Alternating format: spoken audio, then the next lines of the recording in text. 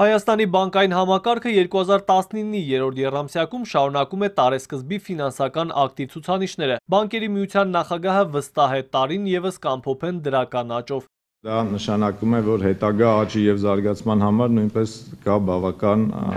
բավարար հիմքեր։ Առաջին 9 ամիսների տվյալներով աճել է բանկերի ընդհանուր կապիտալը, աճի տենդենսը նկատելի է նաև վարկային ներդրումների, ակտիվների եւ պարտավորությունների մասով։ Բոլոր այս բաղադրիչների համադրությամբ էլ բանկային համակարգի շահույթը աճել է 177 միլիոն դրամով կամ 0.8%-ով։ Բանկային համակարգի կապիտալի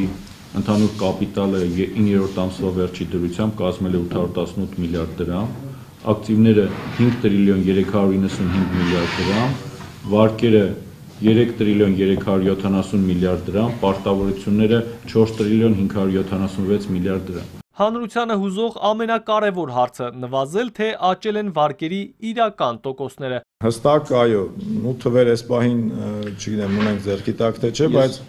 միանշանակ նվազման միտում ունեն տոկոսադրույքները։ Ես միայն կարող եմ ասել, օրինակ 14 թվականից մինչ հիմա, մի երկար ժամանակահատվածում նայենք, որպեսզի տեսանելի լինի, հա, միջին տոկոսադրույքները 4.5-5%-ով նվազել է։ Դա հայտարարության մասին չէ, իրական Ես ես իրական թվերի մասն եմ։ Չէ, իրական թվերի մասն է խոսքը, այսինքն փաստացի տրամադրված վարկերի տոկոսադրույքների հիման վրա է հաշվարկվում։ Եվ եթե ավանների տոկոսները նայենք, նրանք միգուցե ավանների տոկոսներ